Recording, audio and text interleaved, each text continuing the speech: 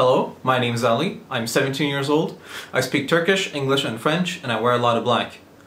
I am currently attending to 11th grade classes over at Bashir High School in Kuşadası and today I would like to talk about what captivates me and why I feel that way.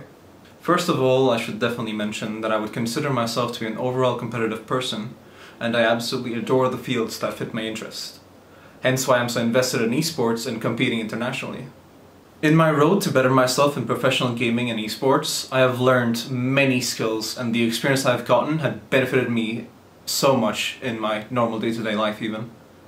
As a result, I strive to be better in all my interests now.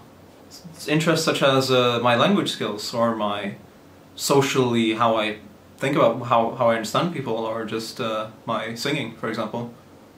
Overall, my mentality and how I approach improving has immensely changed for the better. The time I spent working on myself is just a lot more efficient now. Despite everything I've seen, I am full aware that I can always do better. There's never a time, there's never a case where you just can't improve anymore. There's always room for, room for improvement. Giving gaming as an example to this, uh, something I can do myself, I have spent a day before just going over my gameplay and seeing how I played, just what I did wrong, what I did right, what I could do, what I could do different. It just makes me realize and not do it again the next time I'm in the same situation. It just helps me uh, think about it. If I feel that my own knowledge isn't enough, I try to seek people who know more than I do about the topic.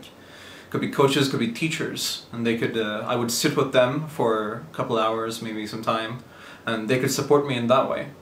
Something else I do is um, I try to observe people who are expert experts at the field, seeing what they would do in the situation and how I think about how I would do it differently. Just gives me a different viewpoint, which just uh, broadens my view. For me personally, where I am at the moment, how far I have come, the progress I've made is just a lot more important than where my end goal is. All the work I do just feels verified from something as simple as uh, seeing progress. For me, that's just really important constant improvement, noticing that just brings constant motivation, which just keeps me going. And I stop where I'm fully satisfied. My thing is that I'm never fully satisfied with what I do, because as I said before, I'm full aware that there's always room for improvement. And if there is always room for improvement, I want to get to that point. I want to get to that higher point. Just always get better. The more I love the topic, the more I'm going to be putting my resources into it, and the more I'm going to be caring about it resources such as my time or just brain power, how much I think about it and just uh, work. And that's just one of the main things in my life.